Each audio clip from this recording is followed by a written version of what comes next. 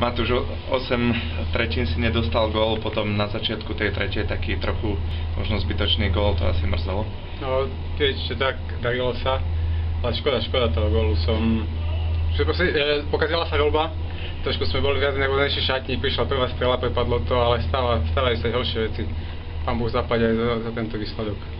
Bol si asi psychicky veľmi hore po tých dvoch víťazných zápasoch, ťa to tak pozbudilo aj pred týmto duelom?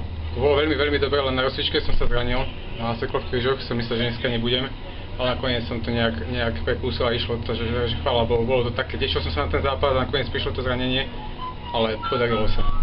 Ste si to trochu skomplikovali v tom závere, už 2-4 hostia tam mali presilovku ešte 5 na 4 po tom druhom ich gole, mohlo to byť ešte zaujímavé. Bol to hektický záver, ten gól 5 na 3 dali pekný, v dobe kombinácii, ale až 5. gól nás zobudil a vtedy sme už vedeli, že vyhráme.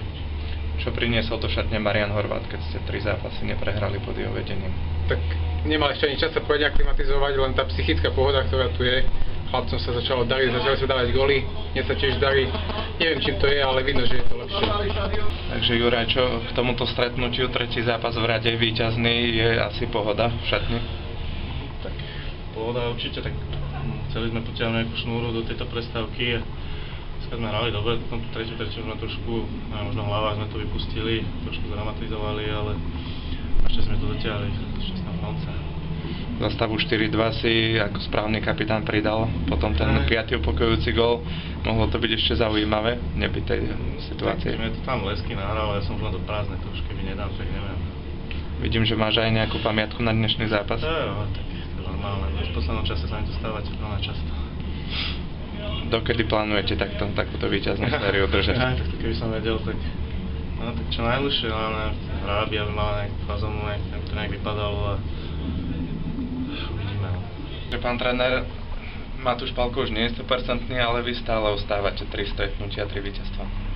A chvála Bohu, je- dalo sa predpokladať, že ten gol určite padne a videli ste, čo tu urobilo s mužstvom. E, Za stavu 4-1 v 41. minúte gól a začali sme sa triasť. Verím, že teraz si vyčistia chlapci hlavy a, a v strednej fázi ideme a začneme odznova k zápasu.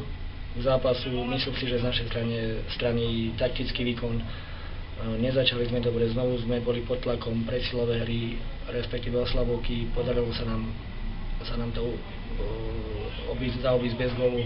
Myslím si, myslím si, že tam Matúš, Matúš podržal. Uh, postupne sme kontrolovali, dali sme jeden gól, dva góly, uh, zvyšili sme vedenie až na 4-0, čo trošku uh, nám dalo takého kľudného kejky, i keď, i keď potom hovorím potom po góle na 4-1, to už bolo také, už sme čakali, že to dopadne dobre. Chalani sú zjavne v pohode pod vašou taktovkou. Čo ste také priniesli do šatne, že to sa to tak nakoplo?